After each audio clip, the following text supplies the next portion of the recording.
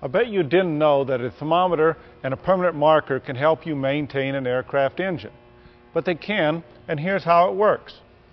You need to make a reference mark at 180 degrees Fahrenheit on the face of your oil temperature gauge. This is a good target temperature for your engine oil.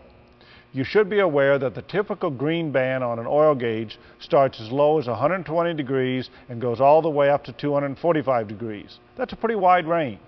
On most Lycoming engines, a cruising oil temperature significantly below 180 degrees won't boil off moisture present in the oil. This is especially true during a short flight.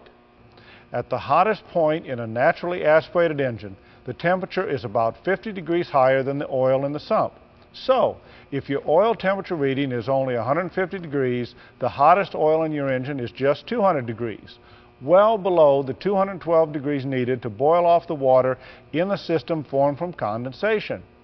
The result is water and acid buildup in the crankcase, which could lead to rust and corrosion.